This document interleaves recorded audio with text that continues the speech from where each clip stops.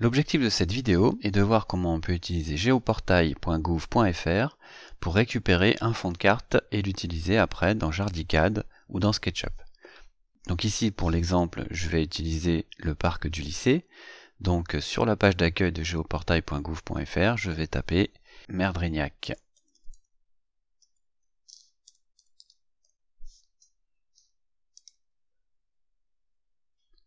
Et là je vais être redirigé sur la commune. Je ne vais pas accéder à la FAQ. Hein. Donc ici, je sais que le lycée, il est à la sortie sur la nationale ici. Donc je vais zoomer sur l'endroit qui m'intéresse.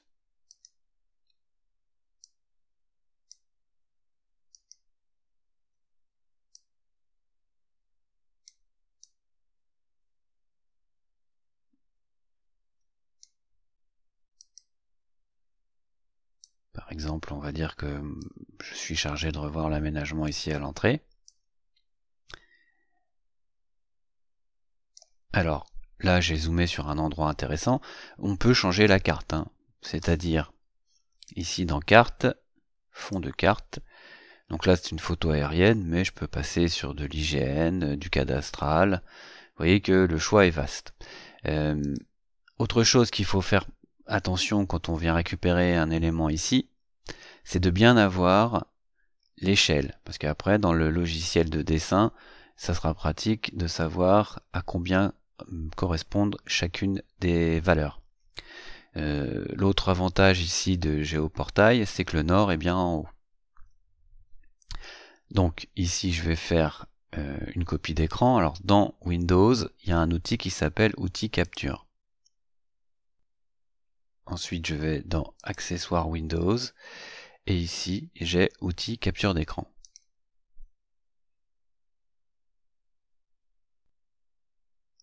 Alors il y a plusieurs modes. Forme libre, donc je peux dessiner par exemple une patate. Rectangulaire, capturer la fenêtre entière, capturer le plein écran.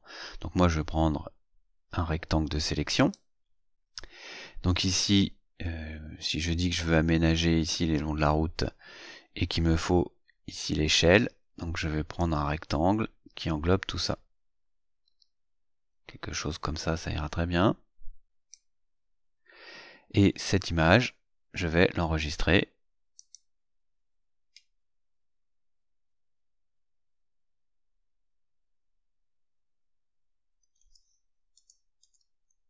Alors c'est un PNG par défaut. Je pourrais faire un JPEG hein, si je veux que ça prenne un peu moins de place.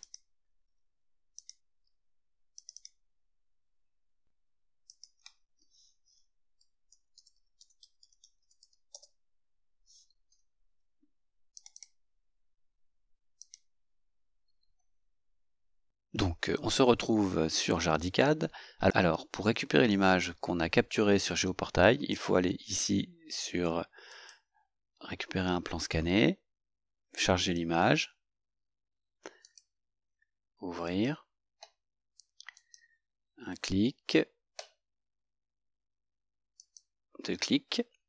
Ensuite, je fais la roulette de ma souris pour euh, zoomer sur la partie qui m'intéresse ici et je vais pouvoir dessiner un trait en mode orthogonal pour spécifier l'échelle de mon plan.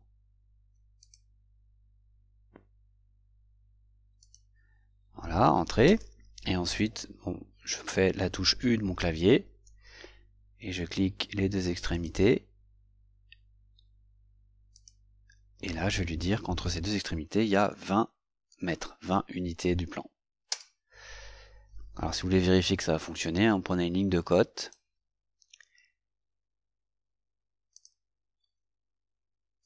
Et là, vous avez bien les 20 mètres entre les deux.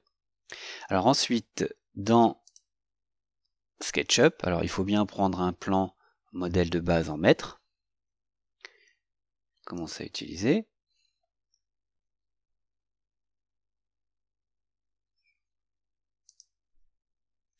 Donc je vais faire fichier importer.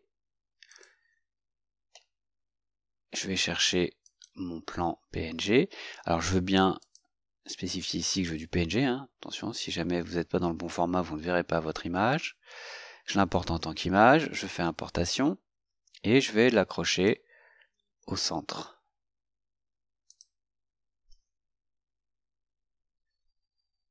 Ensuite, de la même façon, je vais mesurer une longueur pour pouvoir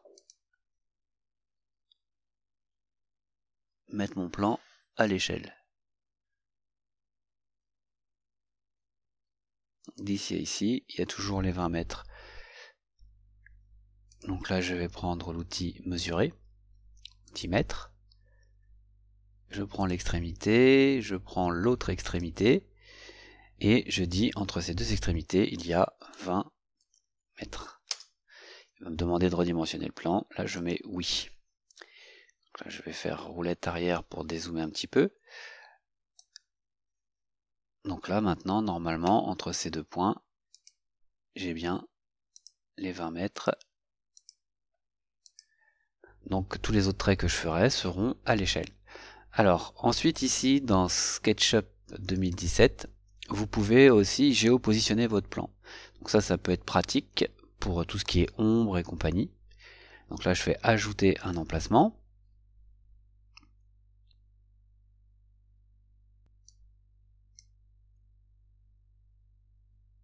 Donc là, il m'a trouvé à Merdrignac dans les Côtes d'Armor.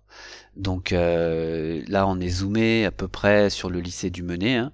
Donc dans mon image euh, sur euh, Géoportail, j'avais aussi pris ces deux routes là. Donc ça peut être pas mal de reprendre une région où vous avez des repères que vous allez pouvoir aligner après avec votre image. Donc là, je vais faire sélectionner une région. ça me paraît pas mal. Je vais faire importation. ici. Donc vous voyez que euh, il resterait à positionner ce plan-là à peu près à la même, au bon endroit. Donc là, vous voyez, j'ai les deux routes. Euh, donc euh, si je veux les aligner, je dirais que c'est à peu près comme ça. De toute façon, c'est pas à un millimètre près. Ensuite, je vais pouvoir enlever ce plan-là. Donc je vais faire déverrouiller, je le supprime. Je peux aussi enlever ces deux traits là qui ne servent plus. Et puis, euh, je peux commencer à dessiner dans SketchUp. Euh, par exemple, si j'aménage la petite maison ici, là, je peux commencer à dessiner les différentes zones du jardin. Et voilà.